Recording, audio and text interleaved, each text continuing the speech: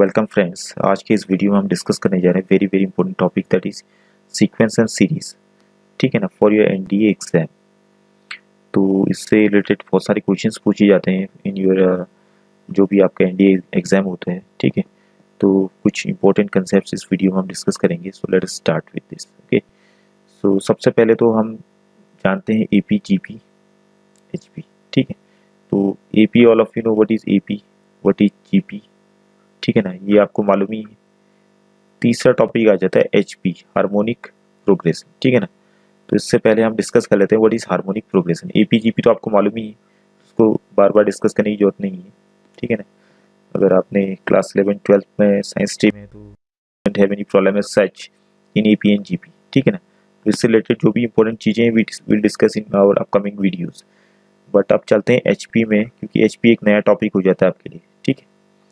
तो सबसे पहले तो what is H P suppose we have set of numbers A B C ठीक है फ्रेंड्स अगर ये आपका क्या बना रहे हैं? ए पी अर्थमेटिक प्रोग्रेशन में। तो इन्हीं नंबर्स का जब मैं रेसिप्रोकल करूँगा तो ये ए का वन अपॉन ए हो जाएगा बी का वन अपॉन बी हो जाएगा एंड सी का वन अपॉन सी ठीक है ना? जो ये आपकी सीक्वेंस बनेगी, इसको हम एच पी बोलते हैं harmonic progression okay so this should be clear suppose we have numbers two four six eight so on dot dot dot dot ये क्या बना रहे हैं? A P all of you know this A P बना रहे हैं। ठीक है ना? तो one upon two one upon four इनका जो रेसिप्रोकल होगा this will be called what H P तो इसी को एच पी कहा जाता है। एच पी कोई अलग सा चीज़ नहीं है। This sequence is called okay तो अब जैसे कि हमें मालूम है ए एम ठीक है ना? G M H M what is arithmetic mean, what is geometric mean, and what is harmonic mean. All of you know that. Okay? तो जैसे टू नंबर्स हमारे पास ए और बी तो उनका ए एम क्या होगा? A plus B upon two ठीक है ना? और उनका जी एम क्या होगा? All of you know this A B to the whole power one upon two और उनका एच एम हो जाएगा friends two upon one upon A plus one upon B this is also written as two A B upon A plus B इसको ऐसा भी लिखा जाता है ठीक है ना? तो अगर we have a set of numbers ठीक है ना? हमारे पास कुछ सेट ऑफ़ नंबर्स हैं A one A two A three so on up to A N ठीक है ना? अगर ये ए पी बना रहे हैं फ्रेंड्स तो इनका ए एम क्या हो जाएगा फिर? A one plus A plus A three so on plus A N इन सब का सम अपॉन एन ठीक है ना? और अगर यही जो नंबर्स हैं यही जो नंबर्स हैं ए वन ए टू अगर ये क्या बनाते हैं? जीपी बनाते हैं, ठीक है ना? अगर ये जीपी बनाते हैं तो इनका ज्योमेट्रिक मीन क्या हो जाता है? इनका ज्योमेट्रिक मीन हो जाता है what A one into A two into A three so on इनका product up to A N to the whole power one upon N okay now अगर यही नंबर्स आपके एच पी में होते A one A two A three ठीक है ना? अगर ये नंबर्स आपके जो हैं सेट ऑफ़ नंबर्स ठीक है ना? अगर ये आपके एचपी बनाते, ठीक है ना? एक हार्मोनिक प्रोग्रेशन बनाते फ्रेंड्स तो इनका जो है हार्मोनिक मीन क्या हो जाता फिर? इनका हार्मोनिक मीन हो जाता आपका N upon one upon A one plus one upon A two plus one upon A three plus so on plus one upon A N ठीक है ना? ये आपको क्लियर होना चाहिए कि ए एम जी एम और एच एम ऑफ़ एन ठीक है ना? एन नंबर्स ठीक है ना? जो एपी में होंगे एचपी में होंगे या आपका जीपी में होंगे, ठीक है? नाउ कुछ इंपॉर्टेंट चीज़ें इनसे related suppose you have two numbers A and B ठीक है ना? इनके बीच में कुछ नंबर्स इंसर्ट करने हैं और इंसर्ट करने के बाद जो रिजल्टिंग आपका सीक्वेंस बनेगा, अगर वो ए पी बन गया, ठीक है ना? सपोज़ ए मैंने कुछ नंबर्स डाले A one A two A three और यहाँ पे मैंने एन नंबर्स इंसर्ट कर दिए फ्रेंड्स ये ए वन से लेके ए एन तक ये एन नंबर्स हो गए इंसर्ट करते ए और बी के बीच में. ठीक है ना? अब ये सीक्वेंस जो बन गया, आपका ए पी बन गया सपोज़ ठीक है? And I want to find out A three या ए फाइव या ए टेन कुछ भी निकालना चाहता हूँ मैं इनके बीच में. ठीक है ना? How I am going to find it तो इसके लिए हमें पहले पहले इस जो ये सीक्वेंस बना है ए पी में तो इसका डी क्या होगा फ्रेंड्स इस डी विल बी मतलब कॉमन डिफरेंस ठीक है ना? कॉमन डिफरेंस क्या हो जाएगा? B minus A upon N plus one ठीक है ना? इट शुड बी क्लियर और अगर मैं सपोज़ करूँ, इसका मैं एम एथ टर्म निकालना चाहता हूँ फ्रेंड्स ठीक है ना? तो इट विल बी ऐसे आप निकाल सकते हैं। ए प्लस एम डी और डी की वैल्यू यहाँ से आप पुटअप कर देंगे, यहाँ पे। ठीक है? एक एग्जांपल से क्लियर कर लेते हैं। अगर suppose we have two numbers two and eighty ठीक है ना? दो नंबर्स हैं टू और एट्टी और इनके बीच में मैं पाँच नंबर डालता हूँ ठीक है? Suppose A one A two A three A four A five पाँच नंबर मैंने इंसर्ट कर दिए और ये जो आपकी सीक्वेंस बनी वो ए पी बन गई ठीक है ना? सो so, आपसे क्वेश्चन पूछ दिया कि what is A four A four आपने निकालना है। तो ए फोर निकालने के लिए आप क्या करेंगे? सबसे पहले डी निकालेंगे। तो डी के लिए क्या करेंगे आप? B minus A eighty minus what eighty minus two eighty minus two upon N plus one so number of terms बीच में आपने कितने डाले हैं? पाँच टर्म्स डाले हैं बीच में तो five plus one okay so what you are getting eighty minus two that is seventy eight upon six two three या सिक्स या सिक्स से डायरेक्टली कटा है सिक्स वन जा सिक्स सिक्स थ्री जा एटीन तो आपका थर्टीन आ गया कॉमन डिफरेंस ओके तो आप, आपने क्या निकाला था? ए फोर ए फोर के लिए क्या करते हैं फ्रेंड्स आप? तो ए प्लस फोर डी ये लिखेंगे, ठीक है ना? What is A here A कितना था? ए आपका ये टू है, ठीक है ना?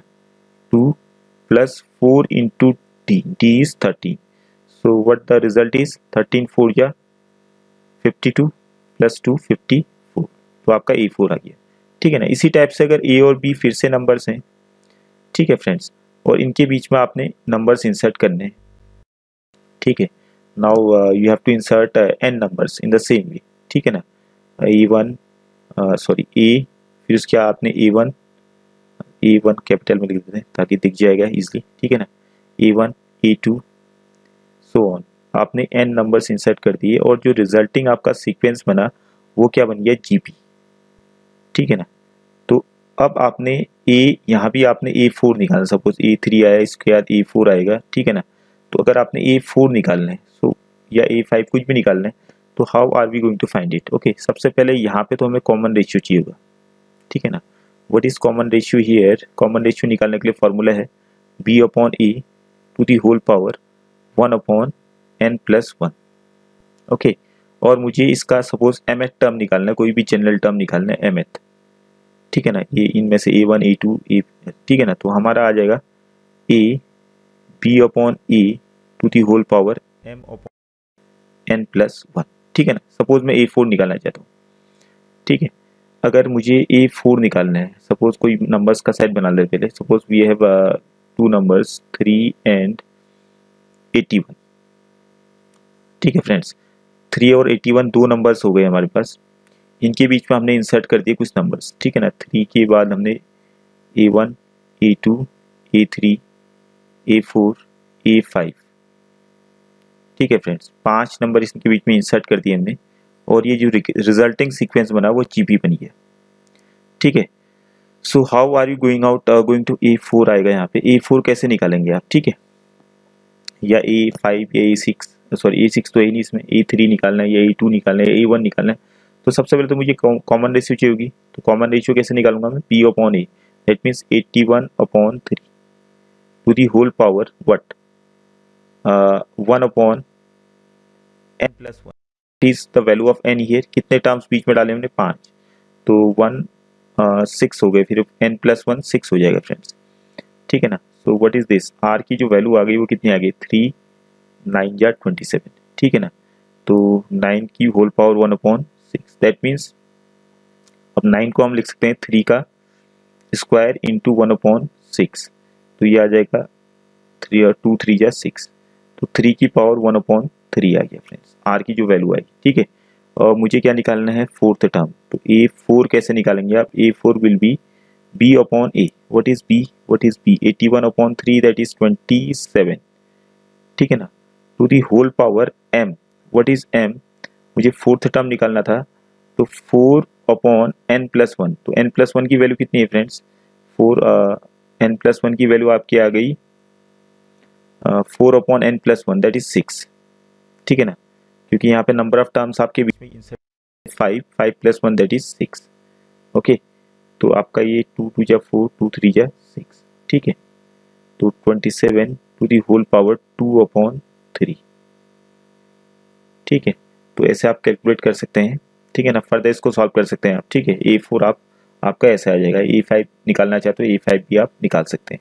ठीक है फ्रेंड्स नाउ कुछ important points in this arithmetic mean geometric mean whatever we are discussing over here ठीक है? अगर आपका सपोज़ तीन नंबर्स हैं A B C first point ठीक है ना? ए बी सी अगर if they are in A P as well as G P as well as G P ठीक है फ्रेंड्स ए बी सी तीन नंबर्स हैं आपके पास। ठीक है ना? अगर ये आपके A P as well as G P में है तो ए बी और सी तीनों इक्वल होने ठीक है ना? अगर मीन्स ये कंडीशन है कि ये तीनों इक्वल होंगे, तभी ये तीनों नंबर्स ए पी या जी पी में दोनों एक साथ होंगे। ठीक है फ्रेंड्स और दूसरा इंपॉर्टेंट पॉइंट इसी में आपका आ जाएगा। If you have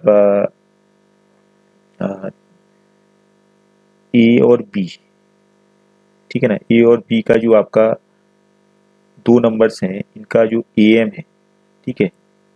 A M और इनका जो जी एम हो गया और इनका एच एम ठीक है ना? हार्मोनिक मीन अगर इसको ए से डिनोट करूँ मैं, और इसको जी से डिनोट करूँ, और इसको एच से डिनोट करूँ, ठीक है फ्रेंड्स तो यहाँ पे एक रिलेशन बन जाता है इनका। ए और बी दो नंबर्स हैं, और दो नंबर्स का अर्थमेटिक मीन ए है और इन्हीं दो नंबर्स का ज्योमेट्रिक मीन जी है और इन्हीं दो नंबर्स का हार्मोनिक मीन एच है, ठीक है ना? तो एक रिलेशन आ जाता है G square equal to A H very important result ठीक है ना? ये आप करेक्ट है। ठीक है friends third important point if you have arithmetic mean and geometric mean जैसे आपका वही चीज़ हो गया, दो नंबर्स वही इसी में आ गए सेकेंड वाले पॉइंट में डिस्कस कर लेते हैं। ए और बी आपके दो नंबर्स हैं, उनका अर्थमेटिक मीन ए है और ज्योमेट्रिक मीन बी है। If A and G are the arithmetic mean and geometric mean of two numbers ठीक है ना? नंबर्स हो गए ए ए एंड बी ए और बी ठीक है ना? तो यहाँ पे जो नंबर्स होंगे ठीक है ना? A equal to A plus root A plus G into A minus G ठीक है? जो ए होगा आप ए को ऐसे फाइंड कर सकते हैं या ए इसकी जगह पे या बी लिख दें आप ठीक है ना? चलेगा। ठीक है? बी इक्वल टू दूसरा जो नंबर होगा वो आ जाएगा आपका A minus root of A plus G into A minus G ठीक है ना? और वाइसा वर्सा मीन्स उल्टा भी हो सकता है ठीक है ना? B can be calculated like this और ए इसको आपको ऐसे कैलकुलेट कर सकते हैं ठीक है? तो ये इंपॉर्टेंट रिज़ल्ट आपने दिमाग में रखने हैं। नाउ नेक्स्ट इंपॉर्टेंट पॉइंट ठीक है? ये तो हो गया आपका नेक्स्ट इंपॉर्टेंट पॉइंट अगर आपके पास आ, कुछ नंबर्स हैं A one A two A three so on ठीक है ना? एन नंबर्स हैं फ्रेंड्स ठीक है ना? और ये सब डिफरेंट है. डिफरेंट है. डिफरेंट एंड पॉजिटिव ठीक है ना? डिफरेंट एंड पॉजिटिव पॉजिटिव दिख नहीं रहा होगा.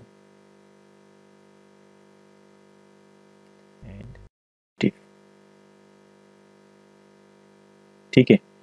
तो जो ए एम होगा A M always be greater than G M and G M will be always greater than H M ठीक है?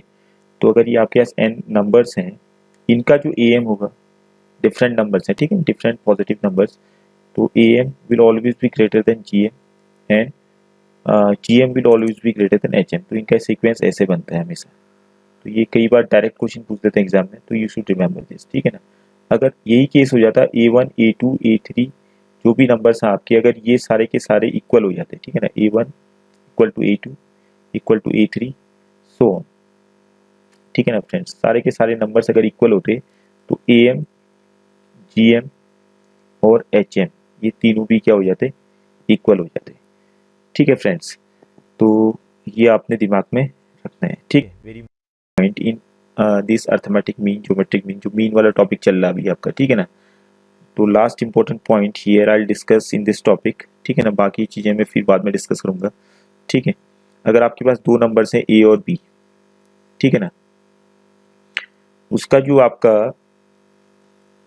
ए एम मीन्स अगर ए एम आपका of the two numbers is A to the power N plus one plus B to the power N plus one upon A to the power N plus B to the power N है ठीक है ना? दो numbers ए और B का जो arithmetic mean ऐसा given है। ठीक है फ्रेंड्स तो इससे आपने कंक्लूजन निकालना है कि एन हमेशा किसके बराबर होगा? ज़ीरो डायरेक्ट क्वेश्चन आ जाता है। कई बार आपकी, कई बार पूछा भी है क्वेश्चन डायरेक्टली ठीक है ना? तो आपने ये मेमोराइज करना है, दिमाग में रखना है कि एन की वैल्यू हमेशा इस कंडीशन में ज़ीरो होगी, ठीक है ना? अगर यही दो नंबर्स ठीक है ना, का जो है ए और बी का जो जी है, यही चीज़ हो जाती ठीक है ना? A to the power N plus one B to the power N plus one upon A to the power N plus B to the power N इस कंडीशन में जो एन की वैल्यू आती, वो आती माइनस वन अपॉन टू ठीक है ना?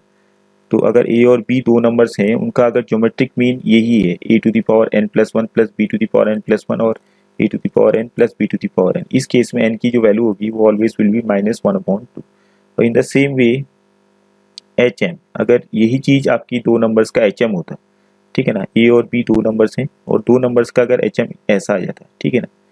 Two A to the power N plus one plus B to the power N plus one upon A to the power N plus B to the power N in this case जो N की value आती, वो आती minus one okay so hope it is clear तो ये सारे points आपने दिमाग में रखने हैं एंड आने वाले जो वीडियोस हैं, उसमें मैं सारे पॉइंट्स डिस्कस करूँगा, जितने भी एपी और जीपी में important shortcut tricks everything you will be discussed in the upcoming videos so thank you for watching this video